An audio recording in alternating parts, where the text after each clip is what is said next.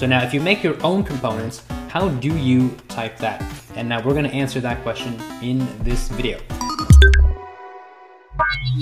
Welcome back to Ourcade. I am Super Tommy, and in this video, we're gonna look at Kaboom.js and TypeScript, specifically how to type components or custom components with TypeScript in Kaboom.js. Now, before we start, if you like our videos on Kaboom.js, be sure to hit like on this video and subscribe to this channel. It is the best way to support uh, what we do here. All right, so in Kaboom.js, we can use it with TypeScript, and we made a video for setting up your Kaboom.js project to use TypeScript um, in a previous video. We'll link to it in the description box below. Now, once you have that set up and you are using TypeScript with Kaboom.js, uh, you can leverage the power of TypeScript by just typing basically everything. So now if you make your own components, how do you type that? And now we're going to answer that question in this video. So I'm going to make myself smaller since I don't need to be this big. Let's go over here. So here in our example, we have VS Code open, and uh, let's uh, just uh, delete that for a sec. I was testing something before we started here. Okay, so we have this big component this custom big component and we've just added this basic text uh, text entity with these components and this big component. This is our custom big component. And what it's going to do is it's going to do a bigify and a smallify. What this bigify does will just make it twice as big. Smallify will just make it, uh, let's just make, say, make it half as big. So we'll go to 2x scale or 0.5x scale. So having uh, TypeScript in our project is all great, is uh, all good and well, let's say. Um, but how do we then know from here what this is, for example, or how after we come up here, let's just say this is, you know, text. Uh, this text thing, how do we then know that we can call Bigify on our entity? All right, so first thing, let's solve that initial problem. So in our custom component here is just a function. Check out our other videos, uh, our five tips for using Kaboom.js for more information about custom components. But here is just a function. It's going to merge these two uh, functions into our entity that's created here at the end. So in Bigify, we want to be able to go like this dot scale because we are expecting the scale component to be on this entity. Now you can of course do checks in code uh, for more safety and then just do nothing if there's no scale component. But you can also just say that your this has a certain type. This is a TypeScript only syntax feature. This does not work in modern JavaScript. So what I had previously you saw was the scale comp type uh, imported.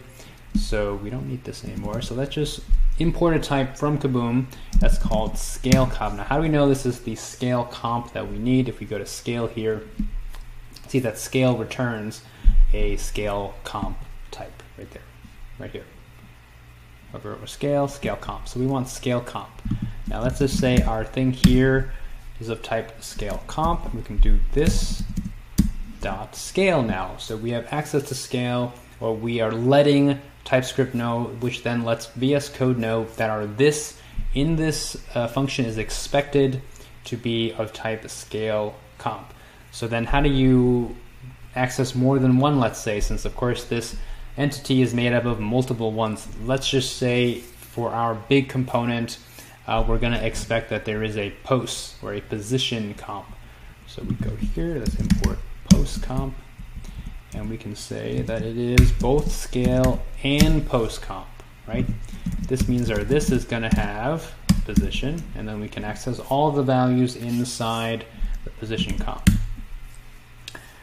All right, so uh, that's just how that, that's how, that's how you're going to type this inside that function. So to do bigify then, you do this dot scale x to this dot scale y2. And for smallify, it's the same thing. I'm just going to omit post comp because you don't need it. Uh, uh, this, and we're going to make this half size. Right? So awesome. So now we have the type in our custom component. Let's go out here. We want to do text.bigify, and we don't get this code complete because uh, we don't know what text, what type text is. Text is a game object type, which is of course missing all the other things. Uh, text is no scale. So what we can do is import, or rather, to make no import anything. We already imported scale scale comp. To make this know that it has scale comp, we can just do as scale comp, right? As post comp. Let's see what it says. Uh, game object. Okay, so this is like all the types that it could be. So you can of course manually add all of these. And so now you'll see that text.scale exists on our uh, text object, but we want one for big. And so how we handle that, we can declare a new type. So we can do either an interface or a type. Let's just see what these are. It's, okay, so Kaboom.js is using type, which is totally fine. So let's say we do type um, big comp, right? And we know uh, big comp has a bigify, and it uh, takes nothing and returns nothing. It has a smallify, it also takes nothing and returns nothing. Cool.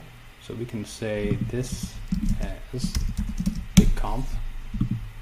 We don't actually need to do that, but uh, so it helps us when we're making this. If we're, this is what we're expecting, we've got to make sure we have all that stuff there. So for example, if we like omitted this, uh, it should error that big returns big comp, but that's not true. Well, it didn't error as I wanted, but nonetheless, here's that. And here we come down here and we say big comp. So now we do text dot bigify. That should 2x our kaboom text here, and it indeed does. And let's say k dot delay, k dot time, uh, k dot. let's check the docs while we're here. So there's a way in Kaboom to have a delayed call, I believe. Uh, let's see, let's see, wait, right.